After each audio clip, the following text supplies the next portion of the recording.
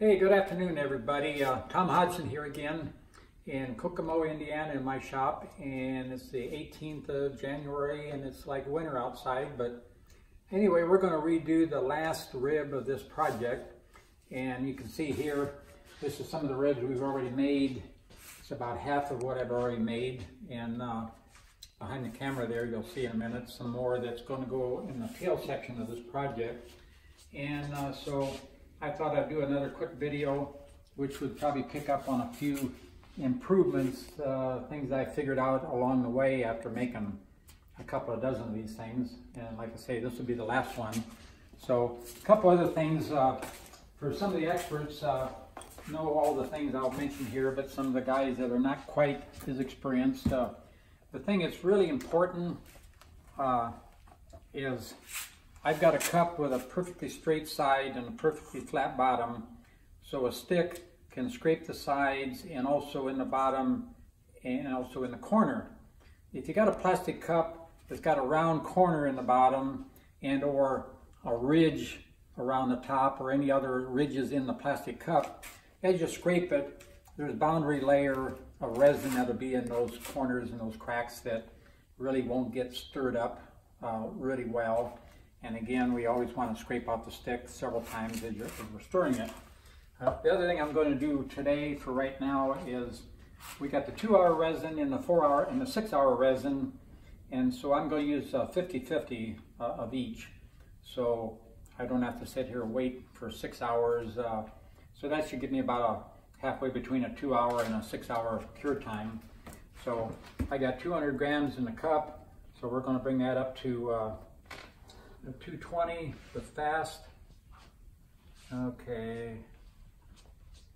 So I don't know if you guys can see the counter here, but uh, that's 220 at the fast, and we'll bring it up to 240, which will be slow resin.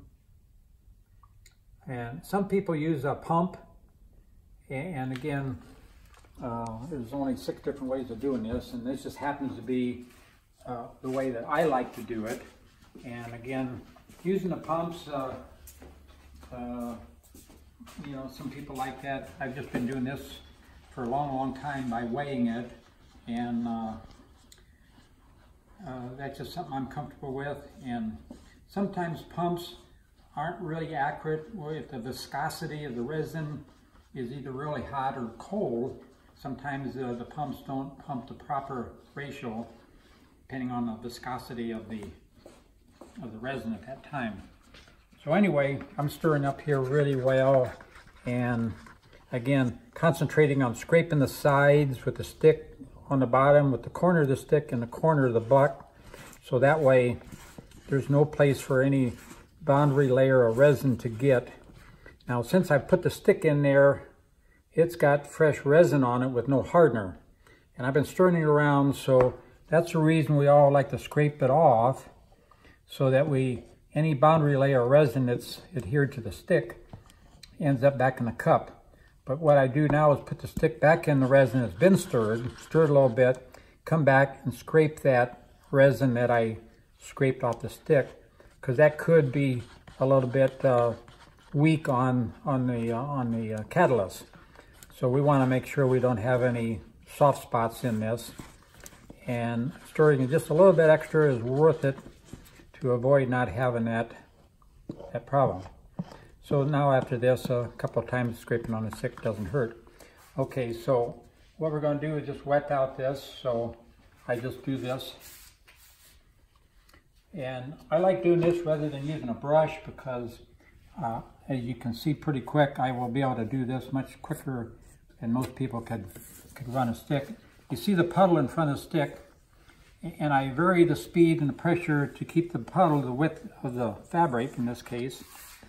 So I get down here and then I just use the stick to play with it and run it back, watching the puddle so I can get it spread out the full width.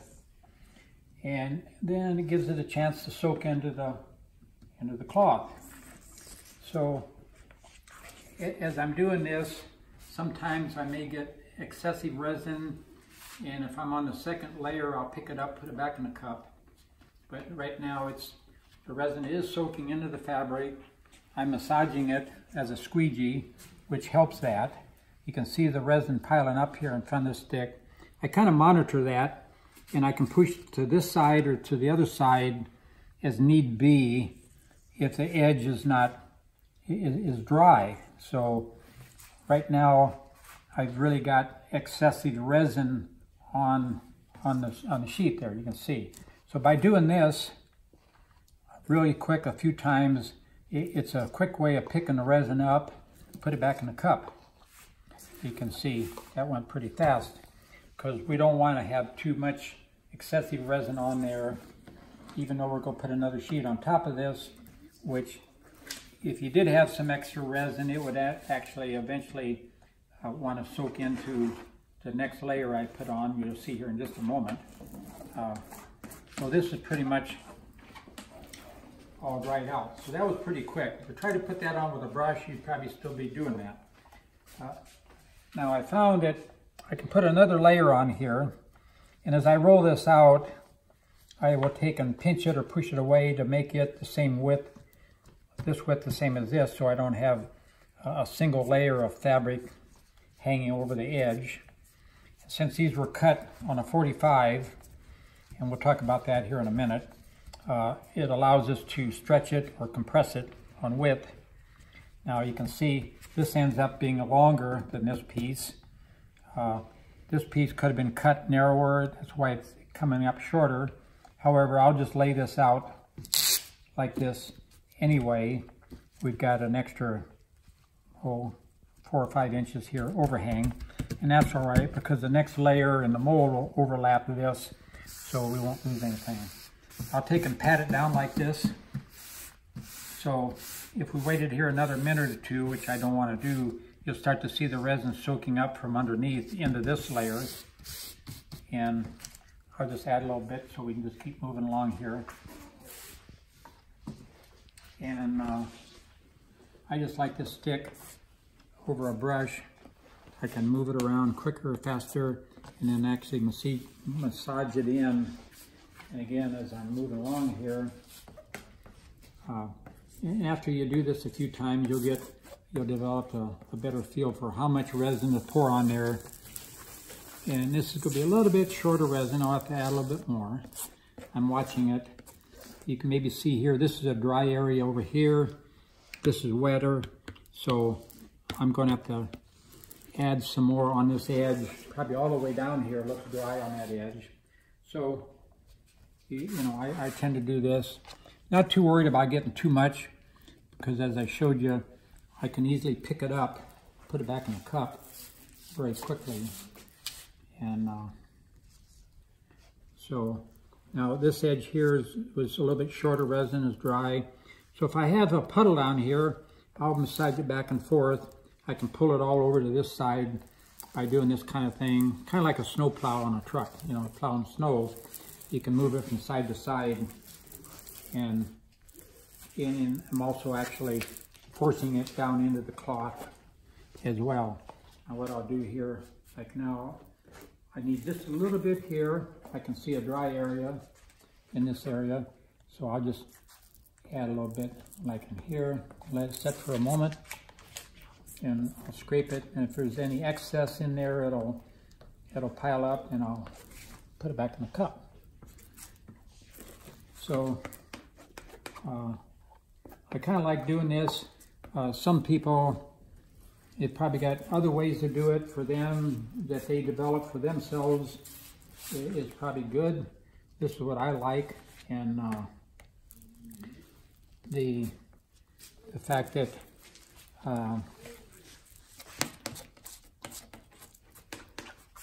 Okay, so now what I'm going to do is roll this up the two layers here. I'll make a little puddle. So we'll take and roll this up like this.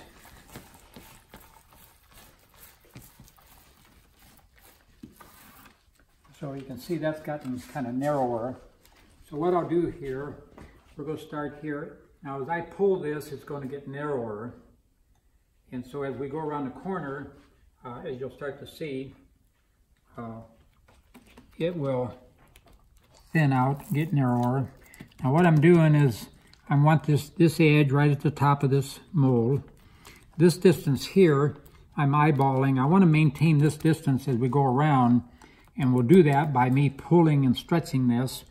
And at the same time, this area here needs to be shorter than this area. So that will automatically, as you see here, it'll just, it kind of falls right into place. Uh, I will use the back of my hand here, as you, as you watch.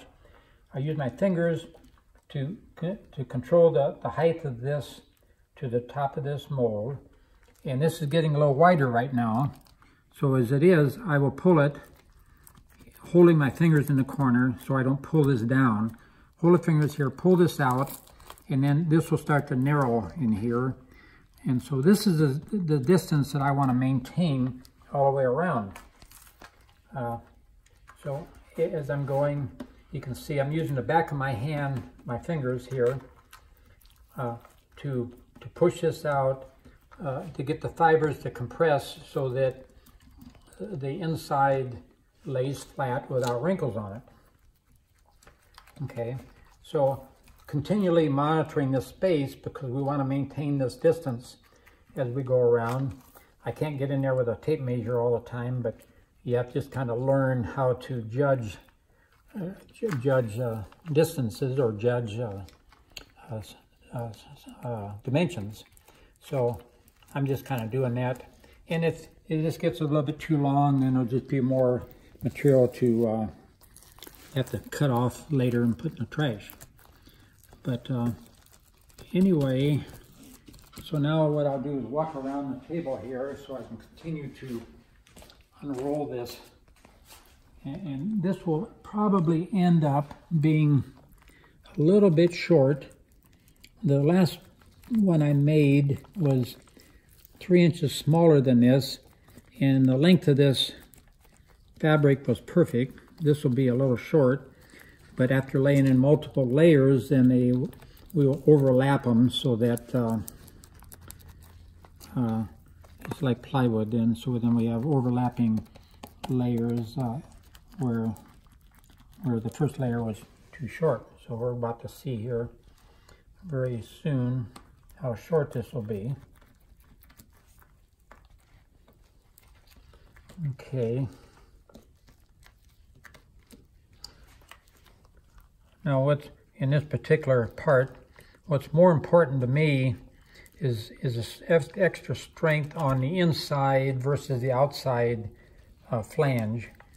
So in this case, I like to continue to keep this tail up high here rather than down low because uh, that'll make the inside ridge much uh, stronger and it'll be thicker. So you can kind of see now I've maintained this space pretty even all the way around, which uh, is what we need later you'll see when we fold it up, it'll be uh, just about the right space. Okay, so now we're to wet out another piece uh, real quick.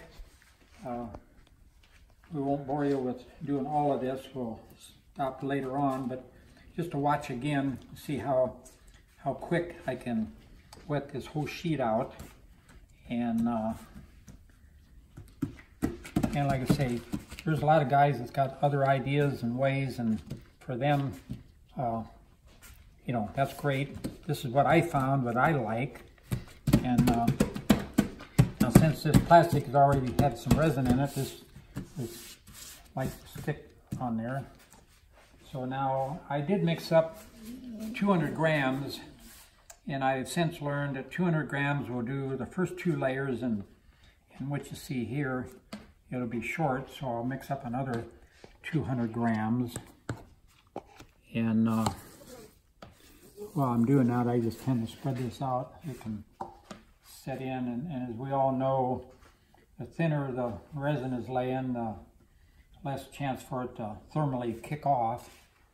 So I like to spread it out, and while I'm over mixing some more resin, uh, that can soak in. Another 200 grams here.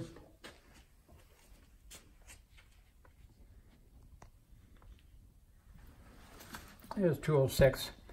So we'll do 226 of, of fast.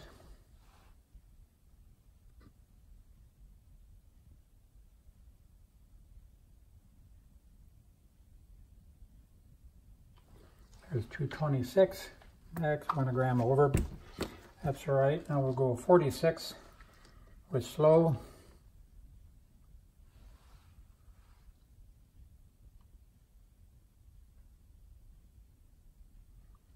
There's 46 went over a gram or two. And we'll go to the mixing stick.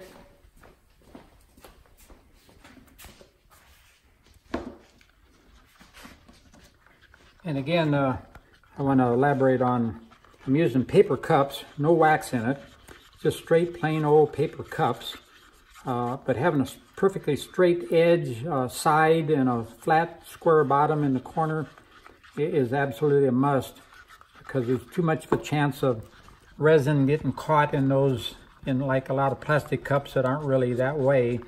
You can actually get resin that'll not really ever get mixed uh, that can get caught in those in those corners. And once you learn that lesson and it messes up a part, then you'll pay more attention to the importance of making sure you got a good thorough mix.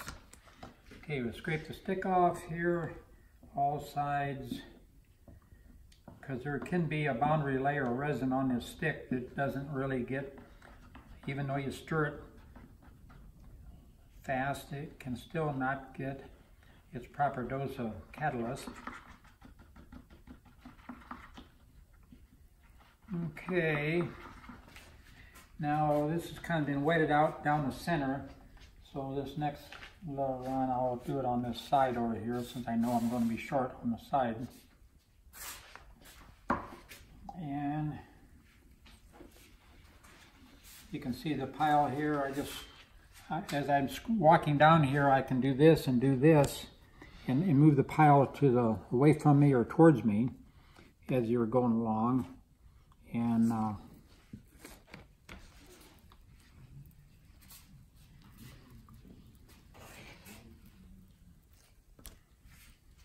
so I'm going to pick up some of this. It's surprising, it's kind of like a, how a, a dog licks water with its tongue.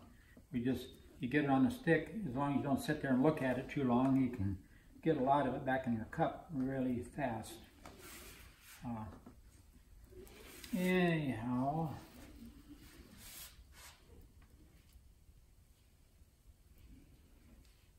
I'm just needing more over here a little bit towards me, so I'm moving it over.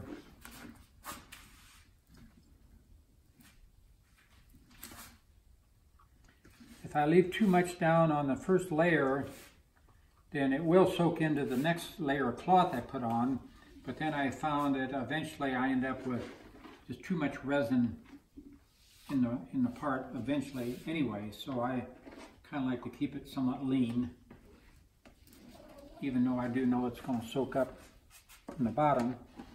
Uh, okay, we'll throw the next layer on, see how that comes out in the end. This is a little bit wider.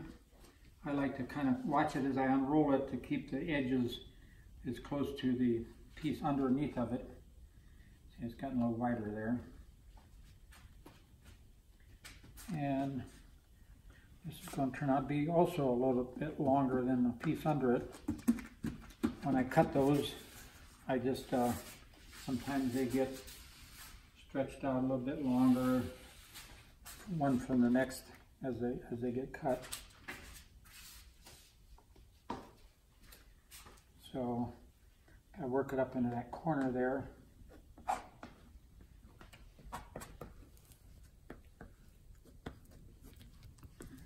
Okay, so here we go with our puddle.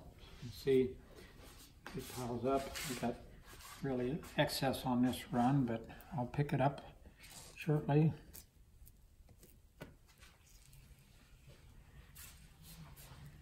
And I don't mind pushing it back and forth a couple times because then it, it, if it didn't get thoroughly soaked in on the first pass, we'll push it back and forth and and I can actually put in a lot of down pressure on the stick. I can actually almost dry out or push it down to where there's hardly any resin left in it. Uh, of course, we don't want to do that. Supposedly, the ideal mix is about a 50-50 by weight resin versus carbon fiber, is what the experts tell me. And uh, however, I'm not, I'm not that finicky about it. So, but again, we don't want a dry cloth. We want it to have a reasonable amount of resin. And we're about ready to pick this one up.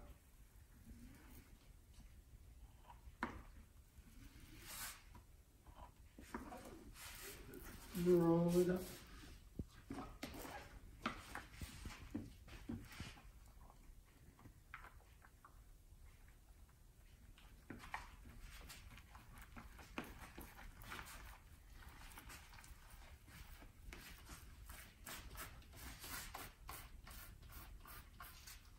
All right, so what we'll do here, since we fell short over there, we'll start at that point and continue around, knowing that we're gonna always have a gap of this size at the end of each roll because the, the length really isn't long enough. So I'm just gonna overlap here about an inch and we'll just start in and do the same thing. Moving around, unrolling the, the, the roll here. Uh, and like I say, there's other ways of doing this. This just happens to be what I've uh, decided is, works good for me and I like it, gotten used to doing it. And uh, I guess some guys, you could put the cloth in there and then take a brush and try to uh, brush the resin in after you lay the dry cloth in the mold, but I've kind of done that in years past and haven't been as happy with, with doing it that way as this. This tends to be quicker at some point, if you want to mix your resin for it to kick off faster, you don't want to be spend lots of time uh, doing what I'm doing and then have the resin kick off on you before you get it all all, all, uh, all done. And you see I'm using the back of my hand here. Occasionally I'll take my fingers and run in the corner. That way I can monitor this edge to make sure that it's not going to be short. And uh, it's pretty much uh, monitoring what's going on here, monitoring this distance as we go along. And, and I'm tugging, uh, actually, if you want to look here, you can see how wide this is uh, compared to what I need here. So as I pull this, if you watch that, this will get much narrower. You see it getting narrower? So I'm kind of judging what I need here and what I need here, and then I'll pull it more or less to control that, uh, the, the, space. Uh, that way, I'm not going to cut off and throw away a lot of carbon fiber and resin, which that's all that would happen. If this ended up being longer, then I'd need more uh, because the piece would actually effectively be shorter anyway, uh, that's uh, what we're doing here.